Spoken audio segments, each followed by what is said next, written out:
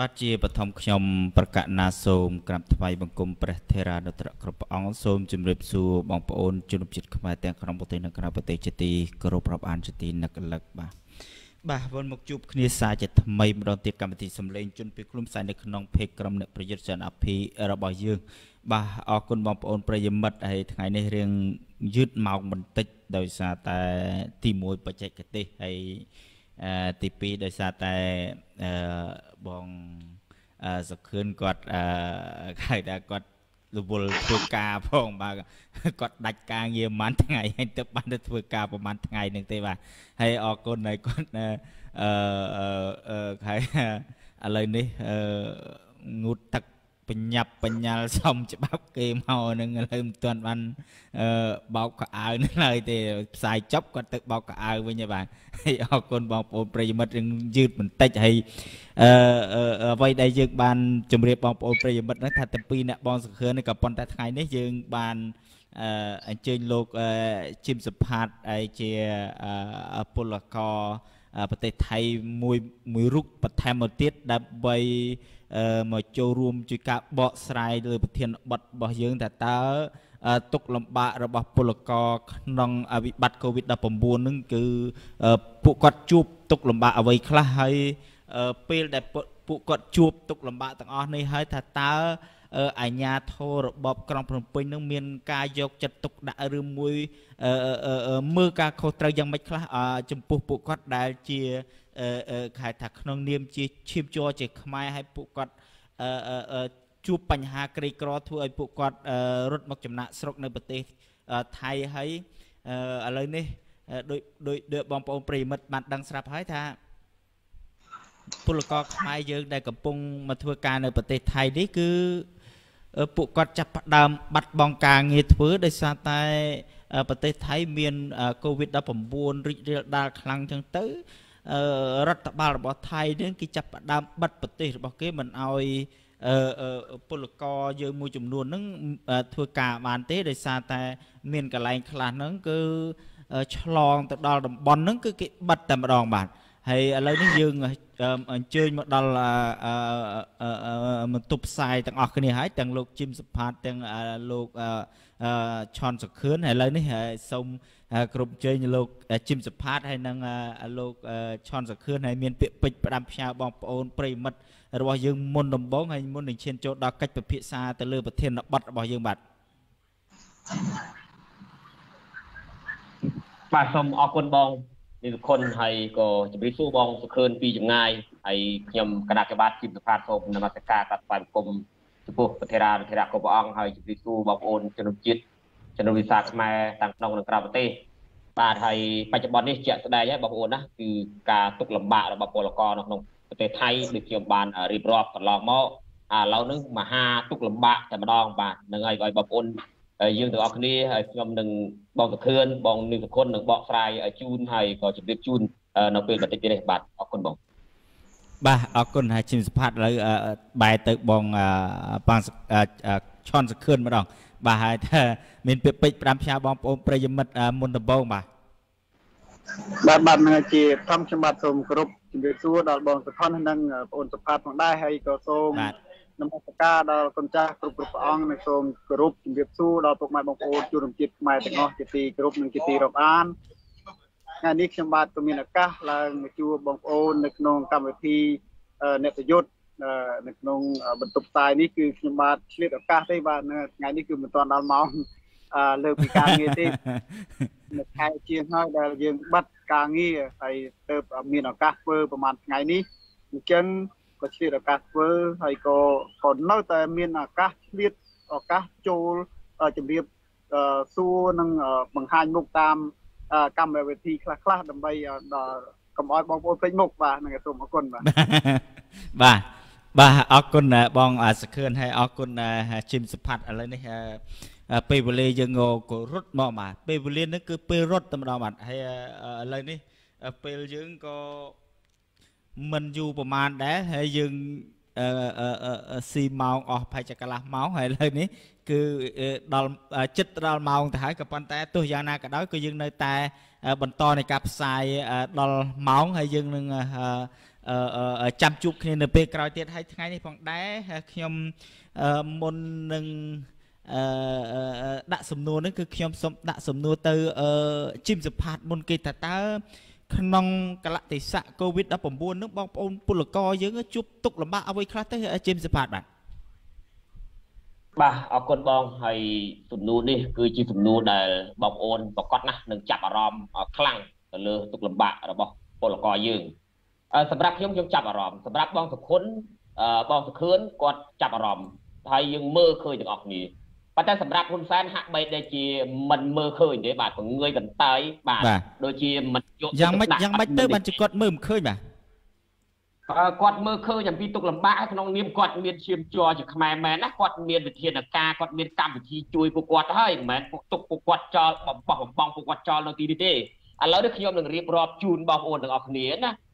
បាទរយៈពេលតាំងពីថ្ងៃទី2ដែលសេចក្តីប្រកាសរបស់ថៃក៏ដូចជាសេចក្តីប្រកាសហើយក៏เพจរបស់ពួកស្ថានទូតនឹងក៏គេបានសរសេរក៏ប្រកាសដែរនៅក្នុងเพจស្ថានទូតក៏ដូចជាអាជ្ញាធរក្នុងប្រទេសថៃគេថាអូឥឡូវនេះគឺប្រទេសថៃបងប្អូនដែលស្នាក់នៅធ្វើការនៅក្នុងប្រទេសថៃនឹងមានការបើកការស្ថានសំណង់ឡើងវិញឲ្យបងប្អូនធ្វើការឡើងវិញអានេះគេនិយាយតែប៉ុណ្្នឹងឯងហើយហាងមួយចំនួនក៏គេបើកឡើងវិញដែរប៉ុន្តែសូមបញ្ជាក់បើក ខាងក៏ពិតមែនប៉ុន្តែគេឲ្យយកតំណែងទាំងអស់ហ្នឹងលុកតាមអនឡាញមានន័យថាលុកតាមម៉ូតូអញ្ចឹងបងប្អូនត្រូវបែងចែកឲ្យច្បាស់ហើយយល់ឲ្យច្បាស់នៅចំណុចនេះហើយរឿងទាំងអស់នេះក៏ជាទុកលំបាកពលករនៅពេលដែលពលករអត់ការងារធ្វើដដែលទេនៅពេលនេះជាក់ស្ដែងដោយបងសុខឿនគាត់ធ្វើការបាន2ថ្ងៃកន្លែងបងសុខឿនដោយសារតែគឺកន្លែងมันមានការឆ្លងកូវីដពីមុនឡើយឆ្លងប៉ុន្តែឥឡូវនេះគឺអត់មានការឆ្លងអញ្ចឹងបើកបានធ្វើការបាន2ថ្ងៃ ប៉ុន្តែកន្លែងផ្សេងទៀតនៅតែបិទដដែលការដ្ឋានសំណង់ឬក៏កន្លែងកសាងផ្សេងទៀតនៅតែបិទដោយសារអីបាទដោយសារតែការបើកនេះមិនមែនបើកទលំទលាដូចកាលពីឆ្នាំ2017ឆ្នាំ2018ទេអញ្ចឹងមកដល់ពេលនេះបងប្អូនដែលវិលត្រឡប់ទៅប្រទេសកម្ពុជាក៏ជាបញ្ហានៃការបាត់បង់ការងារធ្វើដូចគ្នាឥឡូវនេះបងប្អូនគិតទៅមើលនៅពេលដែលសេចក្តីប្រកាសឬក៏ចេញការណែនាំរបស់ សមត្ថកិច្ចអាជ្ញាធរថៃក៏ដូចជាស្ថានទូតដែលអស់លោកស្ថានទូតបាននិយាយលើកឡើងថាឥឡូវនេះគឺគេបើកការងារឲ្យពលករឡើងវិញហើយបងប្អូនសប្បាយចិត្តបងប្អូនសង្ឃឹមប៉ុន្តែនៅពេលដែលបើកឡើងវិញនឹងសួរថាពលករប្រមាណអ្នកដែលបានធ្វើការឡើងវិញណាបានធ្វើការឡើងវិញនឹងវាជាបញ្ហាដែលយើងត្រូវគិតឲ្យមកនិយាយទាំងអស់គ្នា អំបញ្ញមិញនេះខ្ញុំណាក្នុងមួយថ្ងៃនេះខ្ញុំមិនខ្ញុំមិនក្រំពីពលករ10នាក់ទេដែលបានសុំជំនួយពីខ្ញុំក៏ដូចជាស្នើសារផ្ញើសារខ្ញុំសម្លេងមកខ្ញុំបាទហើយសម្លេងនេះក៏ខ្ញុំបានផ្ញើទៅបងនាងសុខុនអំបញ្ញមិញដែរគឺសម្លេងដែលកំសត់ជាទីបំផុតនៅពេលដែលគាត់ឆ្លង COVID-19 ហើយទៅពេទ្យតាំងពីម៉ោង6ព្រឹកបាទតាំងពីម៉ោង6ព្រឹករងចាំពេទ្យដល់ម៉ោង6ល្ងាចគេអត់មានបើកថ្នាំឲ្យអីមកគ្រាប់អានឹងសម្រាប់ពលករយើង អញ្ចឹងហើយឥឡូវនេះអាការងារក៏គ្មានធ្វើណាអាអាឆ្លងកូវីដតាំងម្ដាយតាំងកូនហើយពេទ្យអត់ទទួលអត់មានថ្នាំព្យាបាលឥឡូវនឹងមកដល់ពេលហ្នឹងនៅពេលដែលគេបិទការដ្ឋានបិទការងារឥឡូវនៅពេលដែលគេប្រកាសថាឥឡូវបិទការដ្ឋានតំណងយើងអត់បានធ្វើការបាន100%ទេសម្រាប់ពលករយើងដែលរាប់ម៉ឺនរាប់សែនអ្នកនៅក្នុងប្រទេសថៃ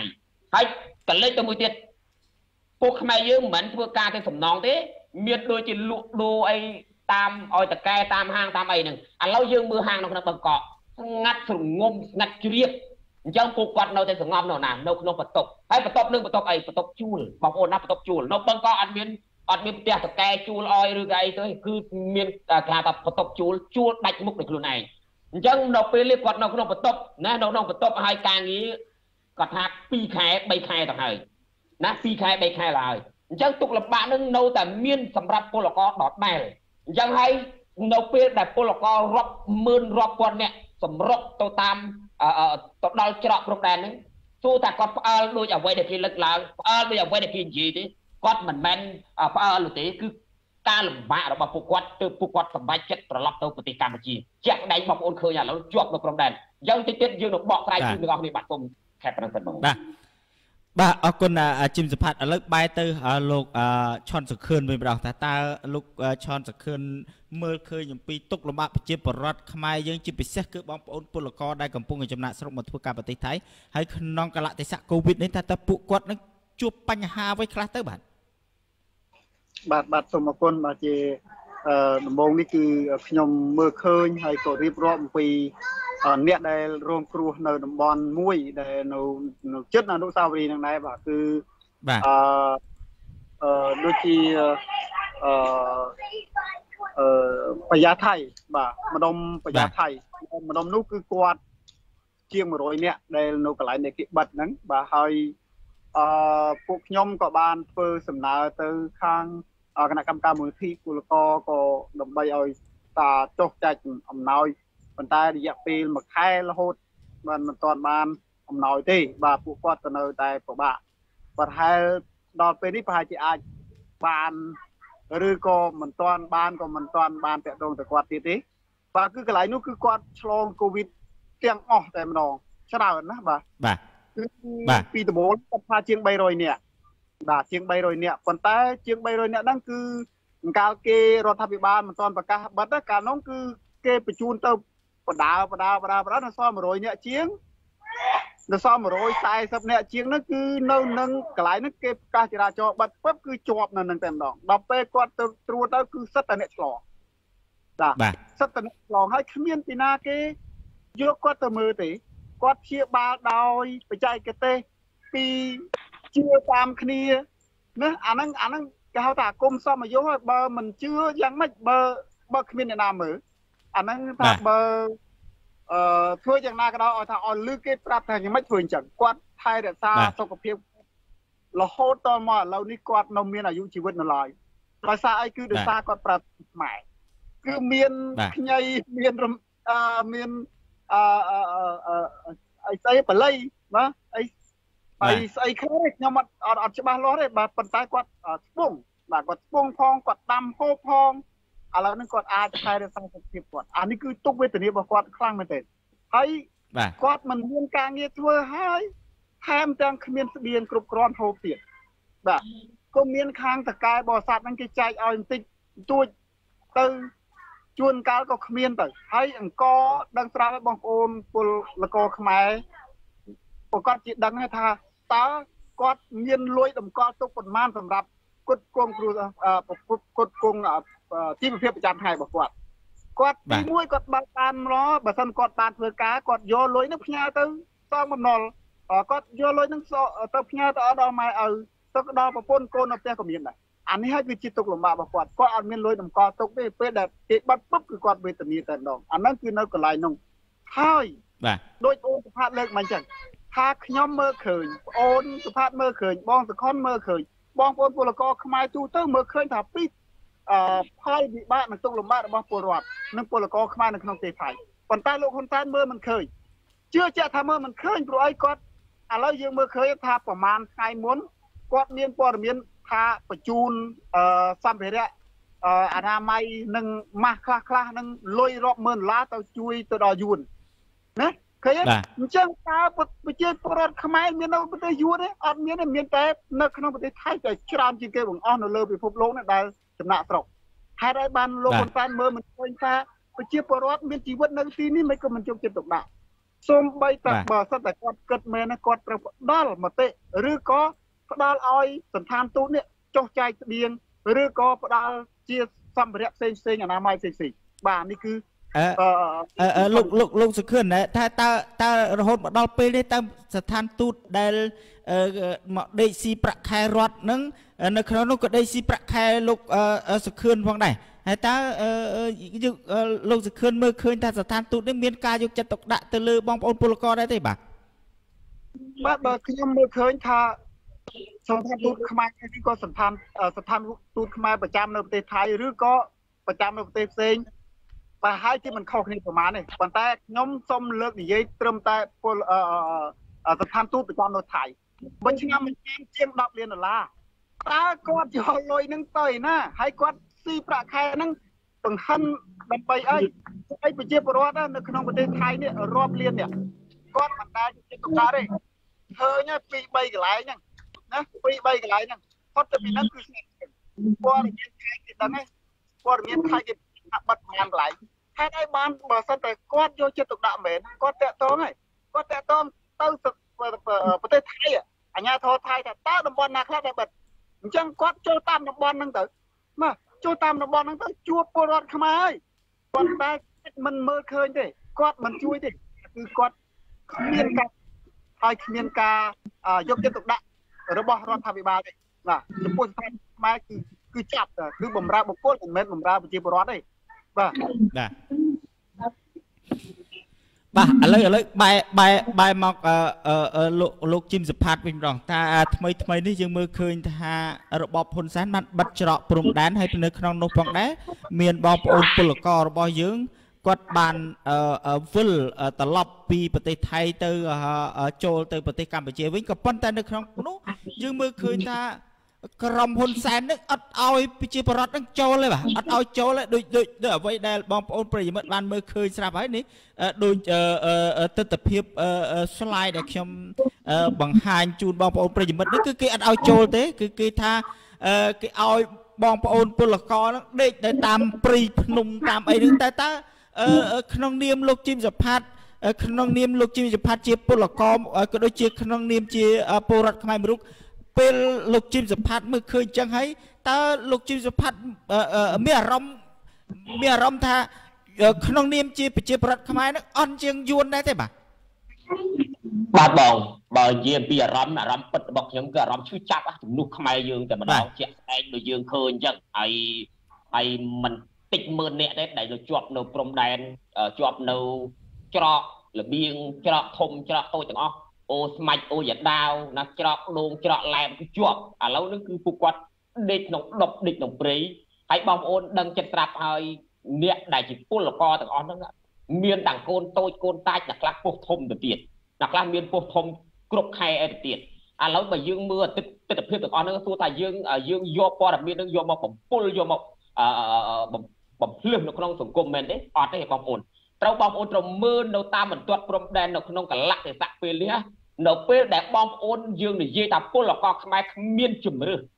បើយើងនៅថៃយើងដាច់បាយយើងនៅថៃយើងឆ្លងកូវីដស្លាប់អត់មានអ្នកណាគេយកចិត្តទុកដាក់ទេណាអញ្ញាអញ្ញាធរថៃបើយើងនិយាយថា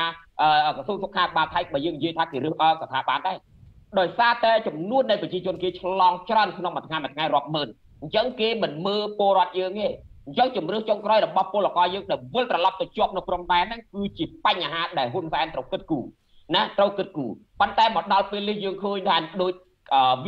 ដូចរូបភាពដែលយើងទទួលបានពីបានស្រីមុំអីបញ្ជាកូនចៅបញ្ជាអាញាធរចអុលក្បាលខ្មែរមិនអោយខ្មែរចូលប្រទេសនេះអាកន្លែងនេះយើងជឿចាក់ខ្លាំងមែនតើណាបងយើងជឿចាក់ក្នុងនាមយើងខ្មែរម្នាក់ដែលវិលចូលទៅស្រុកកំណើតខ្លួនឯងហើយដល់លោកហ៊ុនសែនចោទថាពួកយើងនឹងជាអ្នកយកមេរោគបៃតាភេទថ្មីនឹងនាំចូលប្រទេសកម្ពុជានាំចូលក្នុងសហគមន៍ ប៉ុន្តែទង្វើរបស់ហ៊ុនសែនខ្ញុំចង់លើកពីទង្វើរបស់ហ៊ុនសែនការកន្លងទៅដែលផ្ទុះនៅទីក្រុងវូហានខ្ញុំចង់លើកបង្ហាញឲ្យហ៊ុនសែនឲ្យហ៊ុនសែនបានគិតឡើងវិញឲ្យប្រជាប្រដ្ឋខ្មែរបានគិតឡើងវិញផ្ទុះនៅវូហានណាអាសផាតស្រែកប្រមាណសាដែលសផាតស្រែកស្រែកឲ្យហ៊ុនសែនបិទនៅទីក្រុងវូហានអត់បិទយន្តហោះពីវូហានលោកហ៊ុនសែនថាអត់បិទទេខ្លាចងាប់សេដ្ឋកិច្ចខ្លាចដួលសេដ្ឋកិច្ចអត់បិទទេហើយមានតែទឹកចិត្តឲ្យចិនចូលប្រទេសកម្ពុជាកាលឡើងយើងមានហ៊ុនសែនហ៊ុនសែនមានអាកម្មវិធីមួយ គេហៅថាកម្មវិធីអញ្ជើញចិនឲ្យមកលេងអង្គទៀតកាលឡើងមិនចិនមកលេងអង្គគិតកក្រែងកាលឡើងមិនមានអ្នកស្លាប់ដួលបកាច់តាមដងថ្នល់តាមចិញ្ចើមថ្នល់អីហ្នឹងកាលឡើងមិនបកាច់លោកហ៊ុនសែនថាសិតតែខ្យល់កសិតតែគៀងបេះដូងឯងស្លាប់នឹងណាអត់អត់និយាយពីកូវីដទេស្រុកចិនគេហៅកូវីដណាវូហានគេហៅកូវីដប៉ុន្តែស្រុកខ្មែរហៅថាខ្យល់កគៀងបេះដូងឬក៏ផឹកត្រាសស្លាប់នឹងសម័យនឹងបងប្អូនមើលអញ្ចឹងយើងមើលមើលសបញ្ជាក់ថាយើងសបញ្ជាក់ថាទោះសម័យនោះ កូវីដទោះនៅវូហានដូចគ្នាទោះនៅយួនដូចគ្នាទោះនៅប្រទេសចិនដូចគ្នាហេតុអីក៏លោកហ៊ុនសែនបើកចំហជើងមេឃតាំងអាជើងអាកាសក៏ហ៊ុនសែនបើកជើងទឹកក៏ហ៊ុនសែនបើកណាបើចិនវិញមកទាំងឡានទាំងឡានក្នុងមួយថ្ងៃមួយថ្ងៃមកទាំងឡានទាំងឡានមកលិចកម្ពុជាណារហូតដល់អាទទួល Western ដាំអានេះ Western ដាំហ្នឹងក៏ហ៊ុនសែនទទួលដែរហើយប្រទេសណាដែលដែលទទួល ថៃក៏អត់ទទួលបណ្ដាប្រទេសក្បែរក្បែរយើងនឹងគេអត់ទទួលដែរអា Western ដាំដែលຕົកមនុស្សរាប់ពាន់នាក់ដែលមានកូវីដលោកហ៊ុនសែនថាຕົកបីកូវីដយ៉ាងណាក៏ដោយគឺជាមនុស្សធម៌ណាដល់តែពលរដ្ឋខ្លួនឯងជាប់នៅម៉ាឡេស៊ី150នាក់បិទជើងយន្តហោះគ្នាម្ដងហើយឥឡូវយើងឈឺចាប់ម្ដងដែរណាដល់ដល់អា Western ដាំលោកហ៊ុនសែនដែរមនុស្សធម៌ហើយជាប់បើមនុស្សធម៌កាលនឹងបានចោះមកដល់ពេលពលរដ្ឋខ្មែរដែលជាឈាមជាប់ខ្លួនឯងដែលមានសញ្ជាតិខ្មែរកាន់ប៉ាសពតខ្មែរបាត់ខ្មែរ ណាសញ្ជាតិខ្មែរនេះវិលត្រឡប់ទៅប្រទេសកម្ពុជាហេតុអីក៏អស់លោកមិនមានមនុស្សសចេតនាមនុស្សធម៌ជាមួយពលរដ្ឋខ្មែរផងយើងសួរលោកហ៊ុនសែនសួរបានស្រីមុំសួរអាជ្ញាធរអភិបាលខេត្តអភិបាលក្រុងចវាយខេត្តចវាយក្រុងនៅតាមបន្ទាត់ព្រំដែនទាំងអស់ដែលលោកហ៊ុនសែនចេញសេចក្តីប្រកាស8ខេត្តជាងហ្នឹងណាមានដូចជាខេត្តបាត់ដំបងខេត្តពូសាត់ខេត្តបន្តមានជ័យបន្ទាយមានជ័យទាំងអស់ហ្នឹងដែលលោកហ៊ុនសែនចេញសេចក្តីប្រកាសឲ្យចាប់តាំងពីថ្ងៃសេចក្តីប្រកាសហ្នឹងមកបងប្អូនប្រជាប្រដ្ឋខ្មែរជាប់នៅព្រំដែនទាំងអស់ឥឡូវហ្នឹង ហើយឥឡូវនេះបងប្អូនយើងមិនអាចនិយាយថាខ្មែរយើងផ្អើលបានទេយើងមិនអាចនិយាយភាសានឹងបានទេពួកខ្មែរយើងមិនមែនផ្អើលទេគឺដោយសារបញ្ហាគ្មានជំរឿសត្រូវតែវិលត្រឡប់ទៅប្រទេសកម្ពុជាត្រូវតែវិលត្រឡប់ហើយតែការឡាប់នៅក្នុងវីដេអូរបស់គាត់ទៀតនៅក្នុងវីដេអូរបស់គាត់ទៀតខ្ញុំសូមបញ្ជាក់ប្រាប់បងប្អូនមហាជនកាលណាគាត់បញ្ជាក់គ្រប់អង្គណាគឺគាត់សុំតែទៅដល់ទឹកដីកម្ពុជាណាទោះបីយកគាត់ទៅឃុំយកគាត់ទៅចាត់តាលីសាយកទៅគាត់ទៅឃុំនៅក្នុងសាលាយ៉ាងណាក៏គាត់សុខចិត្តដែរ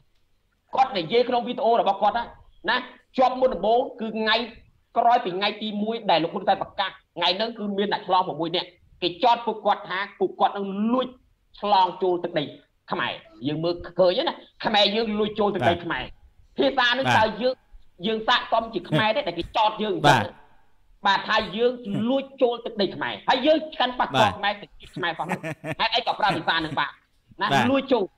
ណាអាញាធរគេដាក់បတ်ចោតហើយនឹងគេពិន័យពួកគាត់ទេឥឡូវប្រហែលជាពួកគាត់អាចនឹងជាប់ពន្ធនាគារកថាបានទេកថាមិនលួចចូលទៅទឹកខ្មែរទៅទៀតកន្លែងនេះហើយ6នាក់ហើយក្នុង6នាក់នោះទៅទៀតមានកុមារនៅជាប់នឹងនឹងទ្រូងទៀតកុមារម្នាក់ក្មេងអាយុ7 8ខែហ្នឹង3តបជាប់នឹងទ្រូងហើយគេចោទថាគាត់លួចចូលទៅទឹកខ្មែរហើយរឿងមួយទៀតណាក្រោយមកទៀតក្រោយមកទៀតក្រោយពីលោកហ៊ុនសែនប្រកាសនឹងមកភ្លាមណាបិទខេត្តនឹងភ្លាមគឺពលករកនឹកឃើញថាទៅតន់ ណាឥឡូវនេះក៏នៅមានដាក់ទៅដែរព្រោះដោយសារតែគាត់នៅថៃអត់បាយដូចខ្ញុំបញ្ជាក់អញ្ចឹងនៅថៃអត់មានការងារធ្វើឥឡូវក៏ពួកគាត់នៅទៅទៅបីតែដឹងថាលោកហ៊ុនសែនបិទសង្ឃឹមថាហ៊ុនសែននឹងមានមេត្តាករណាមុទិតាសន្តោសប្រសិទ្ធប្រណី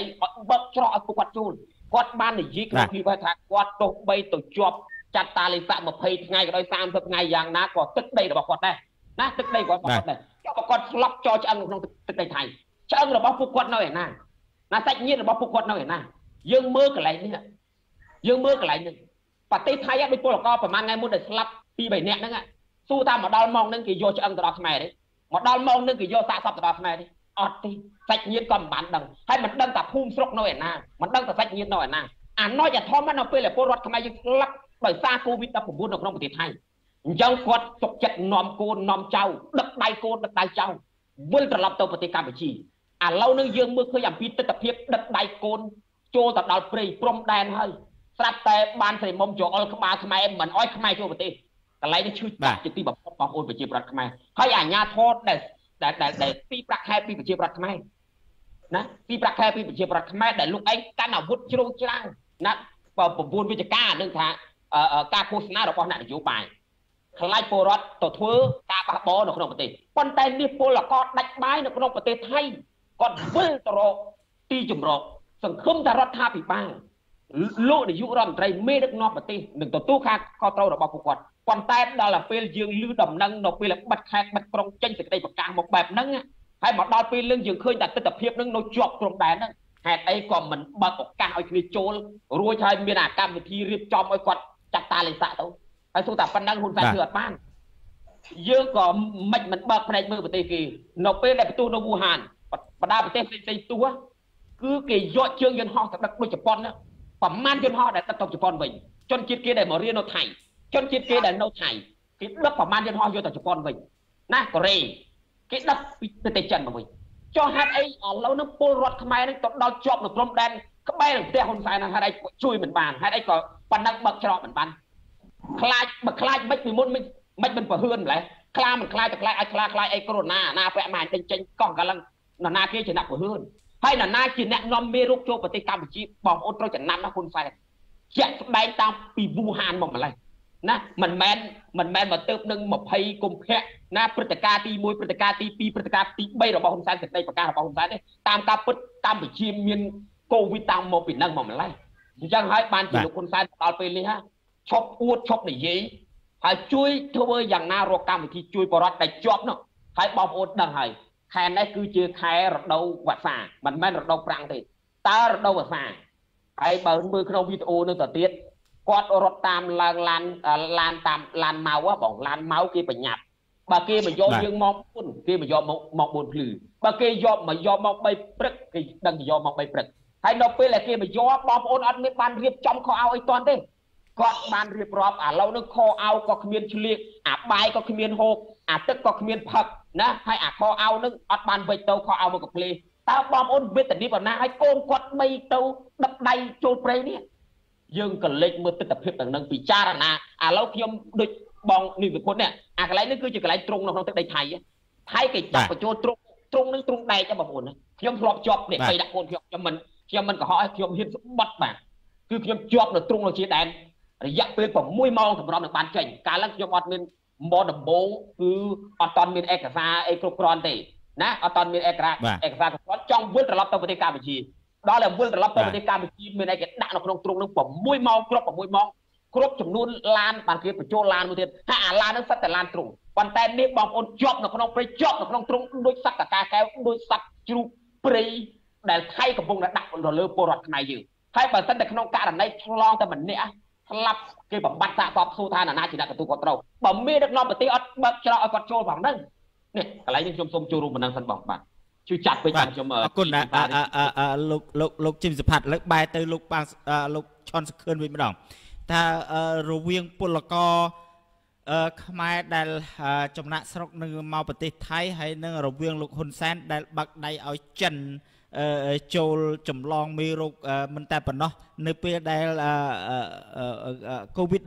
19 នៅក្នុងកប៉ាល់វិសដាំទៅតើរវាងប្រជាពលរដ្ឋខ្មែរហើយនិងលោកហ៊ុនសែនណាអ្នកចម្លងឲ្យពិតប្រាកដបាទបាទសូមអរគុណបងហើយក៏យើងលើកនៅព្រឹត្តិការណ៍ពីដើមនឹងបន្តិចរឿងអកប៉ាល់ដែលមានផ្ទុកមកដោយ អ្នកកូវីដពេលនោះគឺអឺមិនថាបងអូនសផាតមិនថាខ្ញុំមិនថាសកម្មជនផ្សេងផ្សេងទេដែលនៅក្រៅប្រទេសខំស្រែកប្រាប់លោកហ៊ុនសែនថា នេះគឺជាខ្យល់កោហើយនេះគឺជាកូវីដហើយតែលោកហ៊ុនសែនថាខ្យល់កោបាទបងប្អូនខ្មែរដែលប្រកាច់ឬក៏ស្លាប់តាមខ្យល់តាមផ្លូវសិតតែខ្យល់កោសិតតែផឹកប្រាសោដោយគូសផាននិយាយចឹង អាលោកហ៊ុនសែននិយាយនៅក្នុងសន្និសីទទៀតអ្នកណាហ៊ានពាក់ម៉ាស់ដេញចេញណានេះចំពោះហ្នឹងតែដល់ពេលមានកប៉ាល់ដែលគ្រប់ប្រទេសដែលគេអត់ទទួលមនុស្សរាប់រយរាប់ពាន់អ្នកនៅក្នុងនោះហើយក៏មានអ្នកទុកនៃរោគនៅក្នុងនោះតែលោកហ៊ុនសែនទទួលស្គាល់មនុស្សធម៌ណាដើម្បីដែងពីមិនរើសអើងសជាតិបាទផ្ទុយទៅវិញអ្នកដែលចម្លងពិតប្រកបដោយ សំណួរបងសួរមិញចឹងថាតើរវាងពលករខ្មែរនិងរវាងកប៉ាល់ដែលនាំចូលមកនឹងតើអ្នកណាអ្នកចម្លងពុតប្រកបគឺពីដើមហេតុមកគឺអ្នកនៅនៅលើកប៉ាល់ហ្នឹងហើយអ្នកនាំចម្លងមកគឺលោកហ៊ុនសែនហ្នឹងហើយគឺអ្នកនាំមេរោគចម្លងចូលមកអាហ្នឹងគឺពីដើមហេតុបាទផ្ទុយទៅវិញបច្ចុប្បន្នបើលោកហ៊ុនសែនគិតពីមនុស្សធម៌គិតអំពីរស់រៀនមានជីវិតណាប្រហែលថ្ងៃនេះលើលើ ដែលយើងមើលឃើញគ្រប់គ្នាលោកហ៊ុនសែននិយាយអំពីការរស់រៀនមានជីវិតគឺជាសិទ្ធិទី1អញ្ចឹងរាល់ថ្ងៃនេះពលរដ្ឋគាត់ត្រូវការរស់រៀនមានជីវិតតើលោកហ៊ុនសែនផ្ដល់ឲ្យបានទេថ្ងៃហ្នឹងសូមផ្ដាំផ្ញើទៅលោកហ៊ុនសែនថាតើលោកហ៊ុនសែនផ្ដល់សិទ្ធិនឹងឲ្យគាត់ដែរឬទេថ្ងៃនេះគឺគាត់ចង់បានសិទ្ធិរស់មានជីវិតព្រោះឯងឡប់ទៅប្រទេសកម្ពុជាវិញត្រឡប់ទៅប្រទេសកំណើតរបស់ខ្លួនវិញហេតុអីបានលោកហ៊ុនសែនមិនឲ្យចូលគឺគាត់ត្រូវការតែម្យ៉ាងឯងគឺសិទ្ធិ រស់រៀនមានជីវិតហ្នឹងហើយបើលោកហ៊ុនសែនមិនអនុញ្ញាតឲ្យ គឺលោកហ៊ុនសែននិយាយបានតែមាត់ទេណាខ្ញុំសូមផ្ដាំផ្ញើចឹងថាលោកហ៊ុនសែនគឺជាមនុស្សអានបំផុតបាទនិយាយមិនបានក្មេងឌៀមដែរបងអន់យ៉ាងម៉េចទៅបាទអន់យ៉ាងម៉េចទៅបាទបើគាត់ពិតជាអ្នកទទួលខុសត្រូវពាក្យសម្ដីគាត់មែនគាត់និយាយថាត្រូវការមានសិទ្ធិរស់រានមានជីវិត អញ្ចឹងពលរដ្ឋរងថ្ងៃកំពុងតែស្នើសិទ្ធិតារងថ្ងៃគាត់ស្នើសិទ្ធិចង់មានរស់រានមានជីវិតចុះហេតុអីបានលោកហ៊ុនសែននិយាយហើយគាត់មិនទទួលឬក៏គាត់មិនគោរពតាមពាក្យសម្ដីរបស់ខ្លួនអាហ្នឹងគឺមានន័យថាមនុស្សអន់មនុស្សគ្មានអឺខួរក្បាលដែលត្រូវនិយាយខ្លួនឯងហើយមិនទទួលយកបាទណានិយាយខ្លួនឯងមិនមិនធ្វើតាមពាក្យសម្ដីខ្លួនឯងហើយបើសិនតែខ្លួនក្នុងនាមខ្ញុំជាពលករខ្ញុំនិយាយហើយខ្ញុំធ្វើបានវាអត់អីទេ ខ្ញុំជាពលករប៉ុន្តែលោកហ៊ុនសែនជាថ្នាក់ដឹកនាំលោកហ៊ុនសែនជានាយករដ្ឋមន្ត្រីរាល់ថ្ងៃហ្នឹងទោះរស្របច្បាប់ក៏ដោយមិនស្របច្បាប់ក៏ដោយលោកហ៊ុនសែនតាំងខ្លួនឯងជានាយករដ្ឋមន្ត្រីតែក្នុងនាមនាយករដ្ឋមន្ត្រីនិយាយបែបហ្នឹងហ៎អាហ្នឹងគេហៅថាមនុស្សអត់មនុស្សមានសតិបាទបាទសូមអរគុណបាទអឺអឺលោកលោកលោកសុខឿនតើអឺលោកសុខឿនដែលដែលដែលដែលជឿហ៊ុនសែនម្ដងដែរទេបាទខ្ញុំអត់ដែរជឿទេបង អត់ដែរជឿព្រោះលោកហ៊ុនសែនមូលហេតុអីបានអត់ជឿមូលហេតុអីបានអត់ជឿហ៊ុនសែនបាទបានអីជឿបាទបើសូម្បីតែគាត់និយាយ100ដងខ្ញុំមិនដែលជឿផងព្រោះពេលដែលគាត់និយាយអប្រកាសថាសកម្មជនសកម្មនារីខាងបកសង្គ្រោះជាតិក៏ដោយឲ្យចូលត្រឡប់ប្រទេសវិញទៅគាត់មិនចាប់មិនចងទេប៉ុន្តែរហូតមកដល់ថ្ងៃនេះជាង100នាក់រហូតមកដល់ថ្ងៃនេះអ្នកណាលប់ទៅចាប់នេះជាក់ស្ដែងខ្ញុំនិយាយខ្ញុំស្គាល់ច្បាស់ជាងគេបងអស់ បងលាស់ចេញឡាយដែលមករស់នៅជាមួយខ្ញុំប្រទេសថៃណាបាទគាត់ឡាប់ទៅវិញឥឡូវចាប់ជាប់គុកមិនទាន់ចេញផងដោយសារអីអាហ្នឹងហ្នឹងតាមលោកហ៊ុនសែនអញ្ចឹងគាត់ខ្ញុំអត់ជឿបាទខ្ញុំអត់ជឿបាទបាទបាទអរគុណលោកលោកសុខឿនឥឡូវបែរបែរមកជិមផាតវិញម្ដងតើលោកលោកជិមផាតបាទបាទអ្វីដែលយើងមើលឃើញអំពីអតចរិតរបស់ ចង្វាយខេតបៃលិនដែលអ្នកណាអ្នកណាក៏ស្គាល់ដែរថាលោកស្រីបានស្រីមុននេះគឺជាប្រពន្ធអារាស្មាច់ផងហើយជាស្រីយួនផងតើលោកលោកជីមផាត់មើលឃើញថាអឺទង្វើរបស់លោកស្រីបានស្រីមុំដែលឈោបញ្ជាឲ្យខ្មែរចូលស្រុកហ្នឹងលោកលោកលោកលោកជីមផាត់ មានមានមានដូចមានអារម្មណ៍ថាគិតថាឃើញដូចថាដូចពាក្យចាស់បុរាណគាត់ថាមន់ព្រៃកំចាយមន់ស្រុកដែរទេជីមផាត់បាទបាទបងជាការពិតហើយខ្ញុំមិនទឹកមិនមែនទើបតែទទួលបានព័ត៌មានការរើសអើងឬក៏ចោតប្រកាន់ទៅលើពលករចំពោះការចោលក្បាលដូចជានាងបានប្រមុំចោលទៅលើពលករមិនឲ្យចូលស្រុកហ្នឹងមិនមែនទើបនឹងឃើញនៅពេលនេះទេ ប្រហែលថ្ងៃមុនខ្ញុំបានបកស្រាយជាមួយបងសុគុណពាក់ព័ន្ធទៅនឹងរឿងពលករដែលទៅជាប់នៅគេហៅថាកន្លែងឃុំឃាំងកន្លែងគេហៅថាកន្លែងសាលារៀនអីណាដែលដាក់ពួកគាត់ឃុំចោលអាខ្លះ20ថ្ងៃអាខ្លះ30ថ្ងៃខ្លះមួយខែអីហ្នឹងណាហើយនៅពេលដែលពលករស្នើសុំសុំ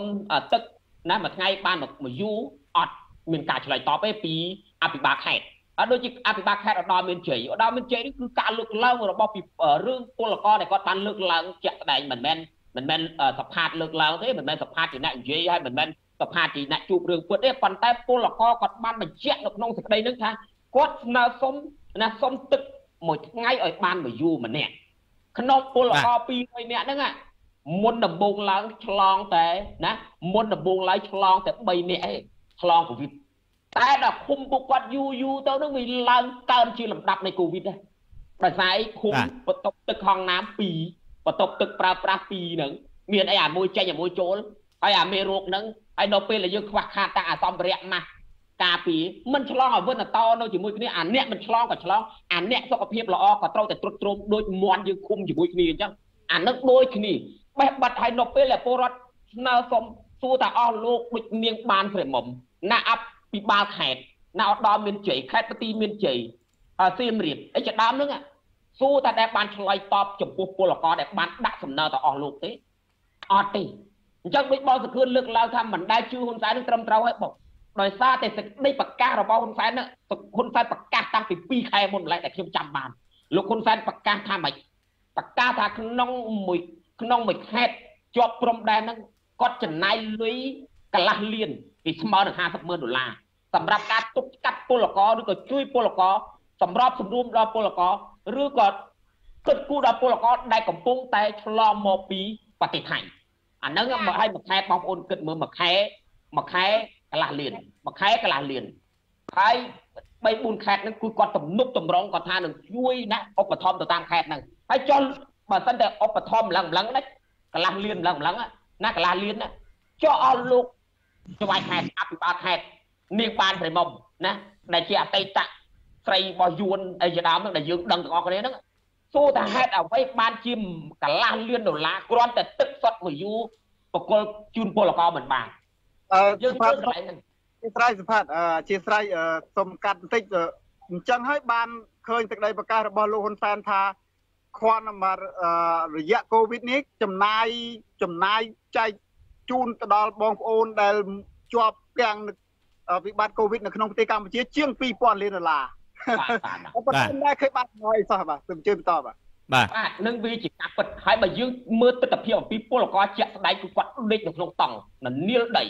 ហើយមុខខំធ្លៀងធ្លាក់អានោះយើងមើលអំពីទស្សនវិជ្ជាជាក់ស្ដែងហើយបើបងប្អូននៅក្នុងសាលានៅក្នុងសាលារៀនក្នុងបន្ទប់ក្នុងមួយបន្ទប់15នាក់ទៅ20នាក់អានោះឃុំគ្នាហ្មងហើយបើយើងមើលជាក់ស្ដែងទៅទៀតគឺការដែល បាយទឹកចំណីអាហារនោះគឺខ្វះខាតតែមិនមែនមិនមែនដូចថៃដូចថៃខ្ញុំឃើញពលរដ្ឋគេដែលឆ្លងកូវីដណាគឺគេឧបត្ថម្ភខ្លាំងណាស់គេជួយខ្លាំងណាស់គេអត់មានបង្ងើយកតៃបានទេអញ្ចឹងហើយយើងមើលឃើញទុកបីតែថៃយកចិត្តទុកដាក់ចំពោះពលរដ្ឋគេយ៉ាងណាក៏ដោយនៅតែមានពលរដ្ឋគេបាតកម្មជារៀងរាល់ថ្ងៃដោយសារអីគេថារដ្ឋាភិបាលនឹងអសមត្ថភាព ប៉ុន្តែសម្រាប់ប្រទេសកម្ពុជាដែលលោកហ៊ុនសែនចេញសេចក្តីប្រកាសគ្រាន់តែពីជាទូរលេខដូចបងសុខឿនលើកឡើងវិញអំពីប្រកាសលុយយើងស្រាប់តែលើកលឺហ៊ុនសែនថាអស់លុយប៉ុណ្ណេះប៉ុណ្ណេះប៉ុណ្ណេះប៉ុន្តែបញ្ចាយទៅលើអីយើងសួរថាចាយទៅលើអីបើពលករនៅព្រំដែនឥឡូវហ្នឹងបាក់ខែជាខ្លាច់អស់លុយហើយបានជាកប់ពលករឲ្យនៅជាប់ព្រំដែនដេកនៅក្នុងព្រៃបើយើងមើលឃើញអំពីព្រៃដឹងហើយព្រៃជាដែនបើព្រៃខាងខ្មែរឆ្លាស់ល្អហើយណាបើខាងខ្មែរឆ្លាស់ល្អខាងថៃអត់មានទេណាតែចូលមកដល់ទឹកដីគេឃើញតែព្រៃសត អត់មានទេទឹកដីថៃគេអត់កាត់ព្រៃទេកញូងក្នុងខ្មែរយើងចូលមកកាត់ម្ដងម្ដងគេបាញ់បាក់ដៃបាក់ជើងដែរឃើញអត់អញ្ចឹងនៅក្នុងថៃគឺព្រៃនៅក្នុងខ្មែរគឺវាលបាទគឺដូចបើភ្នំវិញទៅពេករលីងណិលតែម្ដងអានឹងនៅស្រុកខាងស្រុកខ្មែរយើងយើងឃើញដីដីខ្មែរដីថៃចាក់តាមមើលទៅវាខុសគ្នាឆ្ងាយនឹងមិនចឹងដីហើយសម្រាប់ពលករដែលនៅក្នុងព្រៃនេះដូចកូនកូនខ្ញុំអីចឹងដែរក៏វាធ្លាប់មកកាត់ព្រៃចឹងដែរណាហ่า ពលករដតីដតីទៀតមកកាត់ព្រៃចឹងខ្លះមួយយប់ពីរយប់ណាហើយដើរខ្លះពេលខ្លះជន់មានអីជាដើមប៉ុន្តែឥឡូវនេះពីទស្សនវិជ្ជារបស់ពលករនៅព្រំដែននេះខ្ញុំនិយាយថ្ងៃនេះឲ្យលោកហ៊ុនសែនបានដឹងបើសិនតែហ៊ុនសែនជាខ្មែរហ៊ុនសែនមានចិត្តជាខ្មែរឈាមចរជាខ្មែរមែនណាណាបើដូចអ្វីដែលលោកហ៊ុនសែនលើកឡើងថាខ្មែរស្រឡាញ់ខ្មែរខ្មែរជួយខ្មែរសិទ្ធិរស់រៀនមានជីវិតណាណាចង់និយាយឥឡូវថ្ងៃនេះខ្ញុំថាខុសទៅចោះនិយាយសិទ្ធិបច្ចេកមតិ ប៉ុន្តែខ្ញុំនិយាយចេញមតិនេះគឺដើម្បីឲ្យហ៊ុនសែនបានដឹងប៉ុន្តែបើហ៊ុនសែននិយាយអំពីសិទ្ធិរស់រៀនមានជីវិតឥឡូវពលរដ្ឋកំពុងតែត្រដោខ្យល់សុំចូលប្រទេសដើម្បីមានបាយហូបគាត់ដាច់បាយពីថៃទៅហើយទៅដល់ជិតប្រូតែមិនឲ្យគាត់ដាច់ក្នុងប្រទេសទៀតឥឡូវនឹងថៃគេចាប់ពួកគាត់ដាក់នៅក្នុងទ្រុងដូចជ្រូកដូចសត្វនេះហើយបើពួកអាញាធរណាខ្ញុំលើកលើកពីស្ថានទូតស្ថានទូតគេបាននិយាយចេះបងបងសង្ឃើញបងនឹងគុណស្ថានទូតគេនិយាយថា ទៅពេលដែលថៃចាប់បាននៅព្រំដែនគេនឹងបញ្ជូនត្រឡប់មកថៃវិញទោះតែថៃល្ងងដែលគេយកពលរដ្ឋយើងមកវិញបាទថៃកំពុងតែពេទ្យពេញអស់ហ្នឹងណាពេទ្យពេញអស់ហ្នឹងឆ្លងកូវីដនេះរាប់ម៉ឺននាក់នេះមួយថ្ងៃមួយថ្ងៃតែថ្ងៃហ្នឹង18000ជិតជិត9000នេះ10000ជិត9000ហើយទោះថាពលរដ្ឋយើងដែលកំពុងតែជាប់នៅព្រំដែនជាងទាំងម៉ឺនទាំងម៉ឺនអ្នកនៅព្រំដែននេះទោះតែថៃវាដឹកទាំងឡានទាំងឡានមកបញ្ជូនឲ្យឆ្លងរូបស្លាប់នៅស្រុកវា ចេះតែកើនឡើងកើនឡើងវាអត់ល្ងងទេថៃហើយអស់លោកស្ថានទូតនឹងនិយាយថាអឺថៃបើសិនតែគេចាប់បាននៅព្រំដែនគេនឹងដឹកត្រឡប់មកវិញមកកន្លែងដើមវិញណាតកែណាទទួលកន្លែងនឹងវិញអត់ទេនេះគឺជាការដោះសាររបស់ស្ថានទូតនេះគឺជាសារដោះសាររបស់លោកហ៊ុនសែនកន្លងទៅលោកហ៊ុនសែនប្រជុំ3ម៉ោង20នាទីលើកឡើងថាអូឥឡូវហ្នឹងខាងថៃនេះខ្ញុំសហការគេល្អហើយសហប្រតិបត្តិការតំណែងជួយពលករដើម្បីសម្រួលដល់ពលករអាហ្នឹងហ៊ុនសែននិយាយក្នុង ក្នុងកិច្ចប្រជុំមួយណាំក្នុង Zoom ហ្នឹងអា3ម៉ោង20នាទីហ្នឹងខ្ញុំចាំបានហើយលោកហ៊ុនសែនថាអូឥឡូវនេះខ្ញុំបានតំណែងជាមួយនឹងអគ្គរដ្ឋទូតថៃប្រចាំប្រទេសកម្ពុជាក៏ដូចជាអាជ្ញាធរថៃតាក់ទងទៅនឹងមេដឹកនាំថៃឲ្យគេយកចិត្តទុកដាក់ទុកបីអាអ្នកអត់មានបាត់ក៏ដោយមានប៉ាសពតក៏ដោយអាចស្នាក់នៅបាននៅធ្វើការបានបើអ្នកឆ្លងកូវីដគេយកចិត្តទុកដាក់មានអីអ្នកដែលមានបាត់មានប៉ាសពតទឹកតការវីសាទាំងអស់ហ្នឹងណារហូតដល់មានបាត់ប្រកាន់សង្គម ខ្ញុំមិនផ្ញើបើសិនតែបងបងសង្គមចាក់បានល្អគឺសំលេងដែលជាពលករដូចគ្នាដូចខ្ញុំគាត់ផ្ញើសារខ្ញុំខ្ញុំមានបាត់ស៊ីជពូខ្ញុំមានប៉ាសពតនៅពេលដែលកូនខ្ញុំទៅសុំបើកឆ្នាំទៅពេទ្យតាំងពីព្រឹកដល់យប់គេមិនអោយឆ្នាំឲ្យមកគ្រាប់អានឹងហើយគេជារឿងពិតឥឡូវនេះបងប្អូនយើងឃើញយើងឈឺចាប់នៅពេលដែលអស់លោកអាញាធរណាអភិបាលខេត្តអភិបាលក្រុងនៅជាប់ព្រំដែនដែលលោកធ្វើទៅធ្វើបែបហ្នឹងណាបើថាបានព្រៃមុំទៅយើងដឹងថាប្រវត្តិនេះគឺយួន ប៉ុន្តែអភិបាលខេត្តដូចជាអដាមមានជ័យនេះអីទាំងអស់ហ្នឹងបើលោកជាខ្មែរមែនខ្ញុំជឿថាអ្វីគ្រប់យ៉ាងនឹងមានវិធីដោះស្រាយមិនមែនអត់វិធីដោះស្រាយសុកចិត្តដេកតយសុកនៅវិមានលោកហ៊ុនសែននៅវិមាននៅផ្ទះតយសុកម្សិលមួយថ្ងៃតែម្សិលមិញម្សិលថ្ងៃយកចៅតចាក់វាក់តាំងអាវាក់តាំងល្អនាំចៅតចាក់ណាអាវាក់តាំងអាវាក់តាំងរបស់ចិនដែលគ្មានគុណភាពឲ្យបរិបទខ្លួនឯងចាក់ ឆ្លាតនោះឆ្លាតអាខ្លួនឯងកាលមុនអញ្ចឹងដែរណាទីបាញ់សខេងរត់ផ្អើលមកនេះតចាក់តាំងម៉ែនសំអននេះរត់តចាក់អាវាក់តាំងល្អអាវាក់តាំងអង់គ្លេសដល់ដល់ពេលអាវាក់តាំងចិនមកនាំនេះថាអូពោះអាយុពោះអីចឹងទៅអានឹងឆ្លាតគឺលោកហ៊ុនសែនឆ្លាតឥឡូវនេះមកដល់ពេលពលរដ្ឋកំពុងតែជាប់នៅក្នុងព្រៃហេតុអីក៏លោកហ៊ុនសែនជាមេដឹកនាំប្រទេសហ្នឹងនៅសងំសយសុកកើតសូមអរគុណបងបាទ អឺអឺអឺលោកលោកជីមសុផាត់អំបញ្ញមិញក៏ដូចជាលោក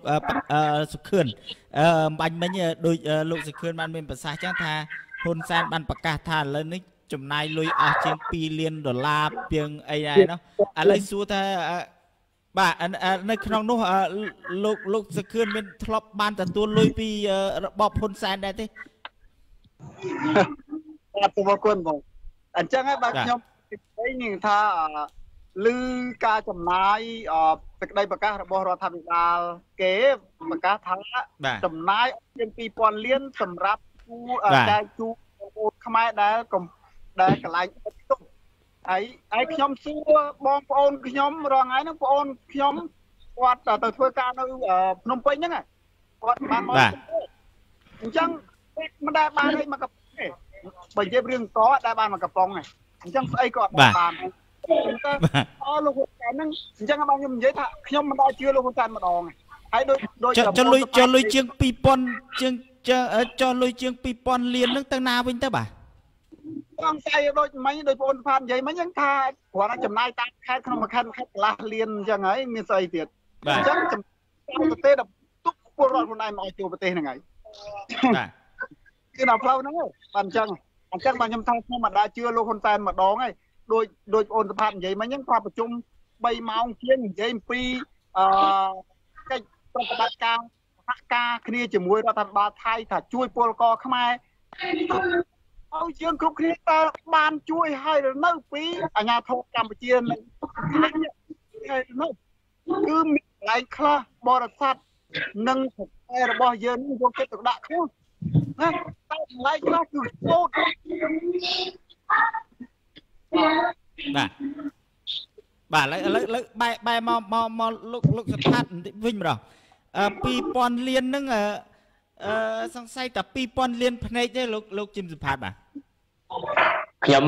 គាត់ថាបាទ2000លានហ្នឹងលោកហ៊ុនសែនមិនមែនធ្លាប់អត់ធ្លាប់លើកឡើងទេដូចគាត់និយាយអំពីមីស30តនលុយរាប់ពាន់លាននៅក្នុងបណ្ណាល័យនៅក្នុងបណ្ណាគីអីកន្លងទៅហ្នឹង ដែលហ៊ុនសែនធ្លាប់អួតក្តែងក្តែងថាសិតតែអធិរាជសាច់ប្រាក់អីនេះគឺលោកហ៊ុនសែនធ្លាប់និយាយហើយបើបើបើយើងនិយាយអំពីពលករដែលពលរដ្ឋខ្មែរកម្មករកម្មការិនីដែលបាត់បង់ការងារគាត់និយាយថាមុនដំបូង70រៀល40 70រៀលធ្លាក់មកនៅ40រៀលអា70រៀលក៏អត់អា40រៀលក៏អត់អា30រៀលក៏អត់អត់អត់រហូតដល់ចុងក្រោយថាពលរដ្ឋខ្មែរឆ្លងកូវីដណា ពលរដ្ឋខ្មែរដែលឆ្លងកូវីដគឺត្រូវបាន30ម៉ឺនដល់30ម៉ឺនចុងក្រោយលោកហ៊ុនសែនសារភាពញោមមកតតាត់ណាថាខ្ញុំអត់មានសមត្ថភាពទេទោះបីតែមានលុយក៏អត់ចេះចែកដែរនេះអាខ្ញុំអញតឥឡូវអត់ចេះចែកទេណាបើអត់ចេះចែកអាស្បាត់ញើថាយកលុយមកអាស្បាត់ចែកតតែខ្ទេចហ្នឹងណា20 30លានដុល្លារក៏ដោយលុយដុល្លារលុយមិនថាលុយដុល្លារលុយស្អីទេអោយតែអោយតែអោយមកដល់ដៃសម្បត្តិចែកឲ្យតលខ្ទេចលុយមានបីពិបាកចាយណាកន្លែងឆ្ងាញ់អាកន្លែងហ្នឹងកន្លែងដែលគាត់អត់ចេះចែកហ្នឹងអញ្ចឹងហើយយើងមើល ណាពីពលករពី70ដុល្លារធ្លាក់មកនៅ40 40ធ្លាក់មកនៅ30 30ធ្លាក់មកនៅពលរដ្ឋដែលឆ្លងកូវីដគាត់និយាយនិយាយចោលទៅទេមានតែខ្ចោលទាំងអស់ណាការពុតគឺគឺអត់មានអីទេអត្តរាជសាច់ប្រាក់ក៏អត់អាមាស30តនក៏អត់អាលុយនៅបណ្ណាល័យបនីគីហើយមើលបងបងនេះសុគុណមើលនៅពេលដែលហ៊ុនសែននិយាយម្ដងម្ដងណាគាត់កលេចទៅក្រោយខ្លាចគេខ្លាចគេខ្លាចគេបចោខ្លាចគេយ៉ាងម៉េចណាខ្លាចអាណាខាងក្រោយគេផ្ទះដៃណា បាទគឺគាត់និយាយទៅកលេចក្រោយគាត់មិនដែលមើលមុខចំទេបាទគាត់មិនដែលមើលមុខមកចំណាបើថាគាត់ឡើងលើវេទិកាឬក៏កាន់ក្បាលមីក្រូហើយគឺគាត់និយាយកលេចទៅក្រោយឯងគឺខ្លាចអាណាក្រោយហ្នឹងវាអត់ផ្ទះដៃអោយជាក់ដៃគឺអាណាក្រោយនេះដឹងរឿងពិតណាដឹងរឿងពិតថាលុយហ៊ុនសែននឹងមានប្រមាណជាធម្មតាយើងមិត្តភ័ក្តិជាមួយគ្នាយើងដឹងហើយដូចខ្ញុំដើរមើលបងសុខឿនអញ្ចឹងដើរឧទាហរណ៍ថាដើរបនដើរទៀនអញ្ចឹងបងសុខឿនមានលុយ20000ខ្ញុំដឹងថាបងសុខឿនមានលុយ20000ដែរមកមកនាំទៅអង្គុយតាណាពងអញ្ចឹងទៅអានឹងឧទាហរណ៍អញ្ចឹង ហើយតែមិត្តភ័ក្តិទៅលាក់បាំងអីគ្នាហើយដូចក្រុមការងាររបស់ហ៊ុនសែនទៅតែលាក់បាំងមិនអូឥឡូវចំណាយលើមន្ត្រីរាជការប្រមាណអូចំណាយប្រាក់ខែទៅគ្រូបង្រៀនប្រមាណបែងចែកទៅមើលទៅហ៊ុនសែនក្តិលលុយអាហ្នឹងអញ្ចឹងនៅពេលដែលនិយាយនិយាយបានតែលុយខ្ចល់ទេខ្ញុំប្រាប់ហើយដោយអាការចំណាយហ្នឹងអាអាលុយដែលប្រមូលពីស្ដាច់ក្តីប្រមូលពីអុកញ៉ាពីជំទាវអីក្តីទាំងអស់ហ្នឹងអារាប់ពាន់លានដែលគាត់ថាហ្នឹងឥឡូវនេះគាត់ចុងក្រោយគាត់ប្រកាសថាឥឡូវនេះទិញវាក់សាំងអស់លុយប៉ុណ្ណេះទិញអាផ្ដាប់តេស្ត កូវីដអស់ប៉ុណ្ណេះប៉ុណ្ណេះតាមតែសរុបសាច់ប្រាក់មុលជាង2000លានមួយផ្លែតហ្នឹងហើយដល់យើងមើលឃើញអំពីលទ្ធផលដូចវាក់សាំងហើយតែគេជួយដល់ឥឡូវនេះគេចាប់ដើមជួយតាមតាមកូវ៉ាក់ហ្នឹងគេជួយហើយប៉ុន្តែហ៊ុនសែនតែគាត់យកទៅទិញយកទៅទិញពីចិនណាហើយគាត់តម្រូវការវាក់សាំងគាត់តម្រូវការមុនដំបូងសេចក្តីប្រកាសអានឹងបើខ្ញុំនិយាយឲ្យទិញលោកហ៊ុនសែនវិញណាលោកហ៊ុនសែនគាត់បាននិយាយច្បាស់ហើយគាត់ថាកម្ពុជាចាក់10លានអ្នកតម្រូវការវាក់សាំងតែ 21លានទេមិនថាអញ្ចឹងហ៎បងឥឡូវនេះដឹងថាស្អីស្អីទេណាទូរលេខរបាយការណ៍គាត់ក៏មិនច្បាស់ខាងអមឌីនគាត់និយាយមិនត្រូវណាមកមិនហេគាត់និយាយខុសនឹងហ៊ុនសែនយើងឃើញតែបច្ចាគ្នាហើយមិនដឹងថាកម្ពុជាត្រូវការវាក់សាំងប្រមាណមនុស្សកម្មនៅក្នុងពលរដ្ឋកម្ពុជានឹង16លានអ្នកគាត់បែងចែកមិនត្រូវហើយអញ្ចឹងហើយបានមកដល់ពេលនេះគាត់និយាយថាអេមានអ្នករិះគន់អ្នកអត្ថាធិប្បាយថាគាត់នឹងដឹកនាំតាមអារម្មណ៍បើមិនដឹកនាំតាមអារម្មណ៍មិនបើលោកហ៊ុនសែនសប្ងៃលវែល ប្រម៉ែប្រមើដឹកនាំតាមអារម្មណ៍ហើយហ្នឹងហើយដល់ពេលចុងក្រោយថាគាត់សាហាវខ្លាំងជាងដឹកនាំខ្លាំងជាងពលពតអើបើប្រៀបទៅភាពទៅពលពេទ្យយកហ៊ុនសែនសម្លាប់មនុស្សតែនេះកន្លែងនេះកន្លែងសារភាពបងប្អូនកន្លែងទៅនេះហ៊ុនសែនសារភាពយ៉ាងច្បាស់ថាគាត់ដឹកនាំខ្លាំងជាងពលពតដោយសារពលពតដឹកនាំបានតែ3ឆ្នាំទេគាត់លេង20 30ឆ្នាំអញ្ចឹងយើងបើសិនតែសរុបនឹងពលពតនិងហ៊ុនសែន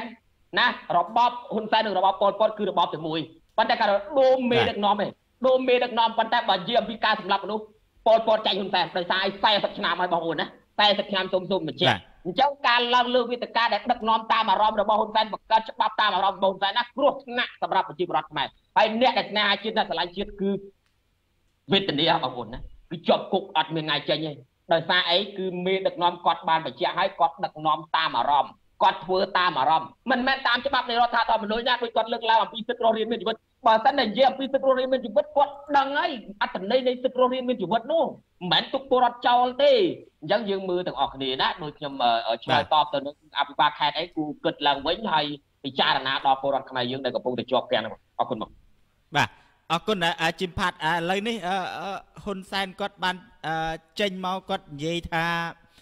អឺពួកអារិគុណគាត់ពួកស្អីនឹងសិតតែរៀនសាលាគាត់ហើយអ្នកខ្លះធ្លាប់ទៅអឺបានទៅនៅស្រុកក្រៅឬបានខ្លាយជាបណ្ឌិតខ្លាយអីនេះដោយសារតែរៀននៅសាលាគាត់ហើយមិនតែប៉ុណ្ណោះគាត់ គាត់ប្រៀបធៀបទាំងលោកលោកជីមផាតលោកសុខឿនផងដែរថាបានមកធ្វើការនៅប្រទេសថៃនេះក៏ដោយសារគាត់ចឹងកុំរិះគន់គាត់តើតើលោកជីមផាតលោកសុខឿននេះគឺជាគេថាគុណបំណាច់របស់ហ៊ុនសែនដែរទេបាទបាទអឺបើចំពោះខ្ញុំខ្ញុំគិតថាគឺយើងឃើញហ៎បងធម្មតាថ្នាក់ដឹកនាំប្រទេសកសាងអីក៏ដោយ ប្រទេសគេខ្ញុំឃើញនេះប្រទេសគេគេគេមិនឃើញកសាងដាក់ដូចលោកហ៊ុនសែនទេលោកហ៊ុនសែនហ្នឹងប្រាក់ជំនួយរាប់ពាន់លានដុល្លារមកកសាងដាក់ឈ្មោះលោកហ៊ុនសែនឬក៏ដាក់ឈ្មោះប៉ាបាទលុយពីទេសចរតំបន់ទេសចរនៅក្នុងប្រទេសកម្ពុជាក៏យកមកកសាងដាក់ឈ្មោះលោកហ៊ុនសែនដាក់ឈ្មោះប៉ាលុយសំចៃរាប់ពាន់លានដុល្លារយកមកដាក់ឈ្មោះប៉ា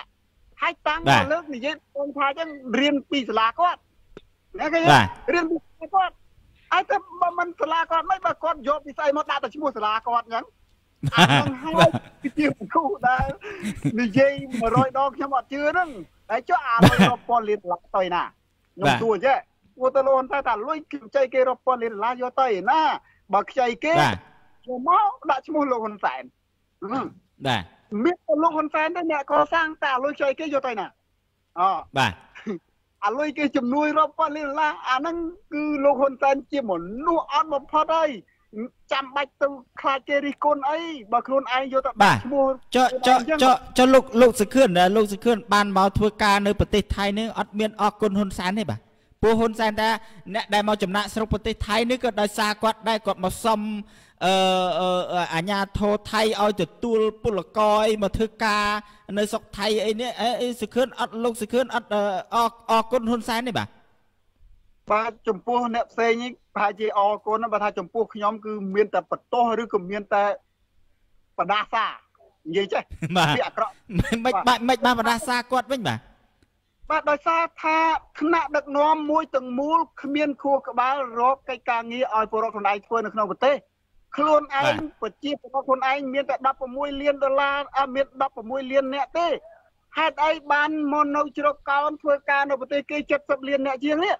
អញ្ចឹងមិនមានន័យថាខ្ញុំមានតែជេរបន្ថែមបន្ទោសបន្ថែមខួរក្បាលណាថ្នាក់ដឹកនាំមួយទាំងមូលខួរក្បាលមិនបានស្មើខួរក្បាលខ្ញុំផងនិយាយទៅចែងខ្ញុំទាំងបាទ បើខ្ញុំវិញខ្ញុំរកការងារឲ្យពលរដ្ឋខ្លួនឯងធ្វើបានហើយខ្ញុំមិនបាច់ចាំឲ្យពលរដ្ឋខ្លួនឯងមកជ្រកកោននៅប្រទេសគេ70លានអ្នកជាងទេបាទអឺអឺជាងជាងជាង2ជាងជាង2លានជាង2លានអ្នកបាទបាទឥឡូវឥឡូវឥឡូវបាទខ្ញុំខ្ញុំយល់ហើយថាជាង2លានអ្នកមកស្រុកថៃប៉ុន្តែ ជាពលរដ្ឋខ្មែរតែជាង16លានអ្នកទេហេតុអីបានឲ្យពលជាង2លានអ្នកហ្នឹងមកជ្រកកោននៅប្រទេសគេ70លានអ្នកជាងនេះខ្ញុំចង់និយាយចេះបាទខ្ញុំចង់បាទគាត់ហ្នឹងវាអត់មានគូក្បាលគិតអ្នកអំបាទបាទឥឡូវឥឡូវលើលើបែរមកលោកលោកលោកសុផាតវិញតើតើតើលោកសុផាតមានអីអរគុណមានអីអរគុណហ៊ុនសែនដែលបញ្ជូនជីមផាតមកធ្វើការនៅប្រទេសថៃទេទេបាទបាទខ្ញុំ អត់តឆ្លើយទៅនឹងបងរឿងរឿងសាលាហ៊ុនសែនដែលដាក់ហ៊ុនសែនតិចព្រោះតែថាគាត់តែតែថាយើងទាំងអស់គ្នាណាថ្ងៃមុនគាត់និយាយថាពួកអាក្មេងៗដែលទៅនៅដល់ថៃដល់អីទៅណាគាត់លើកទាំងអស់ថាពួកអាក្មេងៗហ្នឹងគាត់សម្ដៅពួកអ្នកដែលនិយាយតាមបណ្ដាញសង្គមហ្នឹងហើយគាត់ថាពួកអាក្មេងៗរៀនសាលាអញនេះបាទរៀនសាលាអញបង្កើតទេត្រឹមត្រូវហើយខ្ញុំរៀនសាលាលោកហ៊ុនសែនមែន ប៉ុន្តែហ៊ុនសែនទៅវិញទេដែលមិនបានចូលសាលាខ្ញុំចង់អញ្ចឹងណាលោកហ៊ុនសែនកើតសាលាមែនយកលុយជំនួយពីនេះពីនោះចៃបុលគេដាក់ឈ្មោះខ្លួនឯងសាលាខ្លួនឯងប៉ុន្តែហ៊ុនសែនធ្វើឲ្យតែចូលសាលាអត់ណា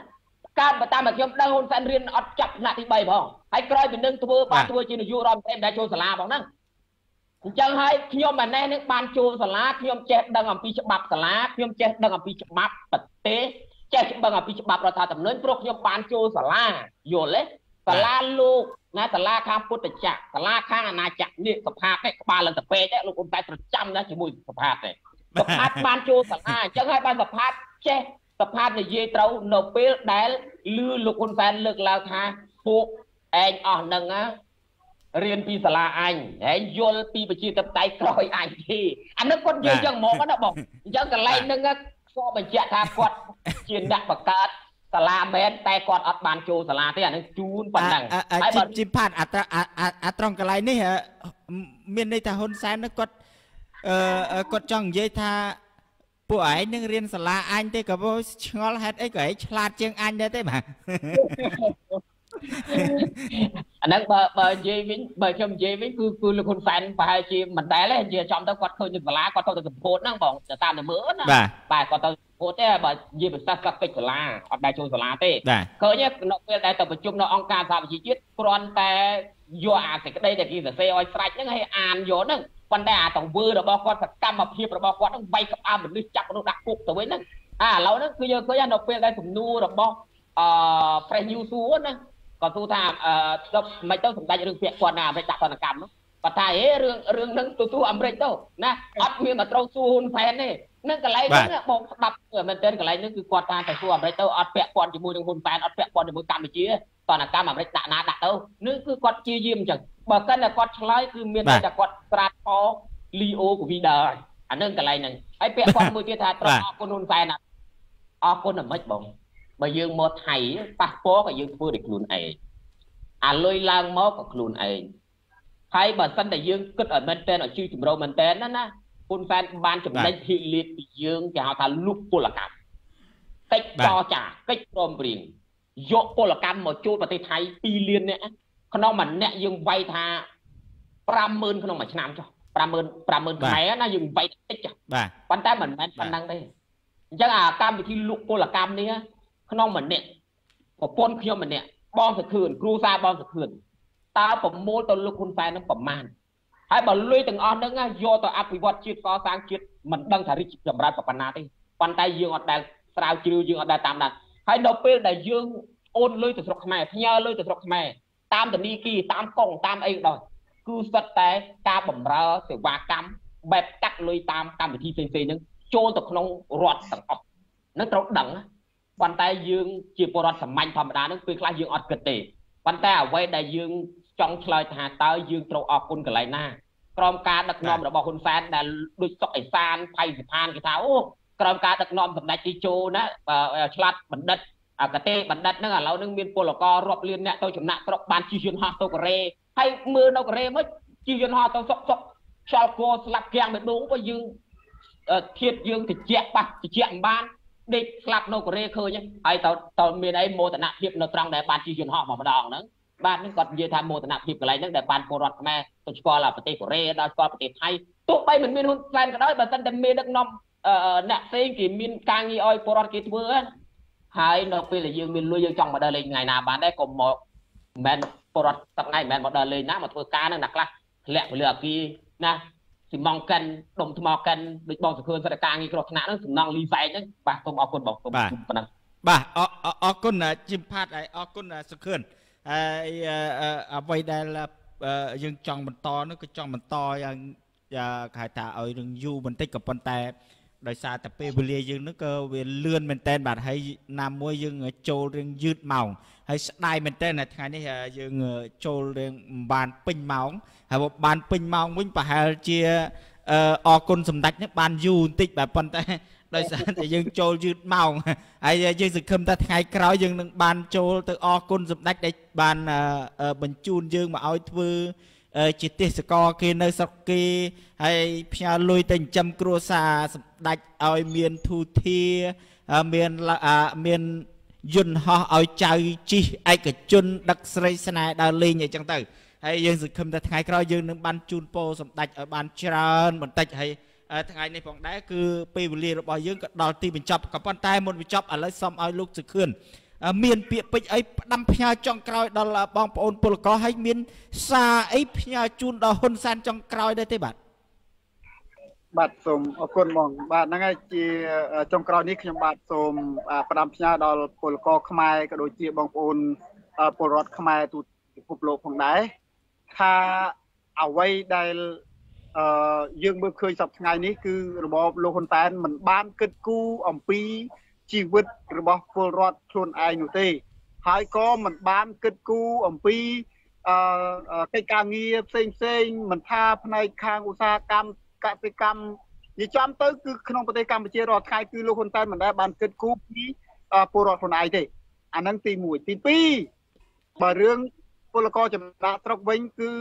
មានតែរឹតបន្ថែមដោយប៉ាសពតអីតម្លៃរាប់ម៉ឺនបើពលករគេពលរដ្ឋគេគេធ្វើប៉ាសពត ដូចថៃអីគេធ្វើទៅជាង1000បាតហ្នឹងបាទហើយចុះយើងមកក៏ជាង10000ទៅ20000បាតណាឃើញទេវាចឹងអាហ្នឹងឯងខ្ញុំថាពលលោកហ៊ុនតែនមិនដែលគិតគូរទេបាទហើយមួយទៀតគឺខ្ញុំសូមផ្ដាំផ្ញើឬក៏ជាសារមួយទៅដល់លោកហ៊ុនសែនថាខ្ញុំជាពលករមួយរូបខ្ញុំឈឺចិត្តណាឈឺចិត្តណាដែលលោកហ៊ុនសែនមិនទទួលសាច់ញាតិខ្លួនឯងហើយលោកហ៊ុនសែនបាននិយាយថាមានត្រូវ ផ្ដល់សិទ្ធិទី1គឺសិទ្ធិពលរដ្ឋមានជីវិតឥឡូវនេះពលករខ្មែរដែលវិលត្រឡប់ទៅប្រទេសកម្ពុជាវិញសូមលោកហ៊ុនសែនបើកច្រកឲ្យពួកគាត់ចូលទៅក្នុងប្រទេសរបស់ខ្លួនវិញណាអន្តរជាតិរបស់ខ្ញុំព្រោះឲ្យខ្ញុំមើលឃើញគាត់ជីវិតគាត់វេទនាតោកយ៉ាកលំបាកខ្លាំងណាស់ដល់គាត់ទៅដល់ព្រំដែនហើយដល់ត្រូវអាជ្ញាធរបិទមិនឲ្យចូលនេះបាទចាសារចុងក្រោយរបស់ខ្ញុំឲ្យលោកហ៊ុនសែនត្រូវតែបើកច្រកឲ្យពលរដ្ឋចូលទៅក្នុងប្រទេសរបស់ខ្លួន ទោះតែលោកហ៊ុនសែនទៅដាក់គាត់ឃុំខ្លួនយ៉ាងណាក៏ដោយធ្វើវិធីណាក៏ដោយកុំថាគាត់នាំគាត់ចម្លងតែទៅគាត់ទៅឃុំគាត់នៅកន្លែងទៅមួយខែក៏ដោយពីរខែក៏ដោយតែឲ្យគាត់ចូលប្រទេសវិញបាទនេះជាសាររបស់ខ្ញុំបាទសូមអរគុណបាទអរគុណដល់លោកសុខឿនឥឡូវបែរមកជីមផាតវិញម្ដងតើមានពាក្យពេចន៍អីផ្ដាំផ្ញើបងប្អូនពលករក៏ដូចជាមានការអឺផ្ញើសារអីជូនទៅដល់ហ៊ុនសែនហើយមាន អឺអរគុណហ៊ុនសែនអីបានបញ្ជូនជីមផាតមកធ្វើការនៅស្រុកថៃដែរទេបាទសូមជម្រាបជូនបាទបាទជាចុងក្រោយខ្ញុំជំរុញឲ្យលោកហ៊ុនសែនមានចិត្តសឿងក្លាហានដោយកាលពីទៅប្រជុំនៅកូរ៉េរួចហោះពីកូរ៉េទៅដល់វូហានឬក៏ស្រុកចិនកាលឡើងគាត់ថាខ្លាចអីបាទក៏មានការភ័យខ្លាចចំពោះ COVID-19 ឥឡូវនេះខ្ញុំនៅតែជំរុញឲ្យសែនកុំភ័យខ្លាចរហូតដល់ទៅសងំធ្វើចាក់តាលេខស័កមួយខែពី3ដងទៅឯងអត់ទេ ក្នុងនាមជាមានដឹកនាំចេញមកបាទចេញមកដោយសកម្មជួយពលរដ្ឋខ្លួនឯងដែលកំពុងតែរងគ្រោះកំពុងតែឆ្លងកូវីដរាលដាលអញ្ចឹងបើសិនតែហ៊ុនសែននៅតែខ្លាចពលរដ្ឋក៏នៅតែស្លាប់បើសិនតែមានដឹកនាំធ្វើកិច្ចការងារសកម្មដើម្បីជួយពលរដ្ឋកុំឲ្យមានការឆ្លងរាលដាលនៃជំងឺកូវីដពិតប្រាកដមែនលោកហ៊ុនសែនត្រូវចិត្តសឿងក្លាហានដោយកាលដែលលោកហ៊ុនសែនបានមើងងាយស្ថានភាពខ្លាមិនខ្លាចក៏ខ្លាចអាចខ្លាកាលនោះដែរអញ្ចឹងខ្ញុំជំរុញឲ្យហ៊ុនសែន សម្រុកឬក៏អ្នកសារព័ត៌មានអ្នកកសែតណានៅក្នុងស្រុកខ្មែរទាំងអស់100ស្ថាប័នក្តី200ស្ថាប័នក្តីសូមមកផ្សព្វផ្សាយរឿងពលករដែលជាប់គាំងនៅតាមបន្ទាត់ព្រំដែនដោយតុកស្ទាយភ្លុកណាស់ដុំក្បាលគ្នារឿងចិនមកពីប្រទេសចិនអញ្ចឹងឬក៏វាក់សាំងមកពីចិនអញ្ចឹងខ្ញុំខ្ញុំឃើញព្រោះកន្លងទៅយើងឃើញហើយកសែតសារព័ត៌មាន Press News ដល់7ដល់អីហ្នឹងគូតបដុំគ្នាទាំងអស់ប៉ុន្តែសម្រាប់ជាតិសាសន៍ខ្លួនឯងដែលកំពុងតែទុកវេទនា គឺមិនដែលឃើញសារព័ត៌មានណាចុះមកយកឬក៏ផ្តិតយកទស្សនវិជ្ជាដើម្បីផ្សព្វផ្សាយអំពីទុកលំបាករបស់ពលរដ្ឋខ្មែរទេអញ្ចឹងខ្ញុំជំរុញហ៊ុនសែនក៏ដូចជាអ្នកសារព័ត៌មានទាំងអស់មកយកព័ត៌មានដល់បងប្អូនខ្មែរហើយជាចុងក្រោយខ្ញុំសូមអំពាវនាវដល់បងប្អូនខ្មែរទាំងអស់គ្នាថែរក្សាការពីសវត្ថភាពទាំងអស់គ្នាពីខ្ញុំបាទប្រផាតខ្ញុំអត់មានអ្វីជួយបងប្អូនធំដុំជួយច្រើនទេ ហើយខ្ញុំធ្វើការកិច្ចការជួយរងថ្ងៃគឺតាមសមត្ថភាពខ្ញុំក៏ដូចជាបងប្អូននៅក្រៅប្រទេសគឺយើងបានសហការគ្នាក៏ដូចជាតំណែងតំណងគ្នាដើម្បីធ្វើការងារនេះ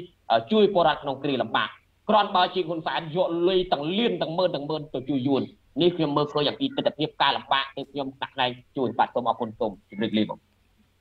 បាទអរគុណដល់លោកជីមសុផាតហើយអរគុណលោកឆនសុខឿនហើយអរគុណបងប្អូនប្រិយមិត្ត ដែលបានចូលរួមតាមដានទស្សនានៅការផ្សាយផ្ទាល់របស់យើងពីដើមរហូតដល់ទីបញ្ចប់ក៏ប៉ុន្តែមុនបញ្ចប់ខ្ញុំប្រកាសថាខ្ញុំបាទសូមខន្តីបិទោរាល់កម្មកុជគងរបស់យើងខ្ញុំទាំងអស់គ្នាដែលបានធ្វើការបកស្រាយក៏ដូចជាអធិប្បាយទៅមិនសមរម្យមិនព្រោះភាសាមិនក្បោះក្បាយមិនត្រង់ចំណុចណាមួយនោះសូមបងប្អូនប្រិមិត្តខន្តីអភ័យទោសហើយយើងខ្ញុំទាំងអស់គ្នាសូមជូនពរនៅប្រសិទ្ធពរជ័យសិរីមង្គលបរិសុខចូលមានដល់ពុកម៉ែបងប្អូន ជនរួមជាតិជួបប្រទេសតាពុទ្ធពោទាំងឡាយ4ប្រការគឺអាយុវណ្ណៈសុខៈពលៈនិងមានសុភមង្គលនៅក្នុងក្រុមគ្រួសារគ្រប់គ្រប់គ្នាយើងខ្ញុំទាំងអស់គ្នាសូមអរគុណសូមជម្រាបលាបាទ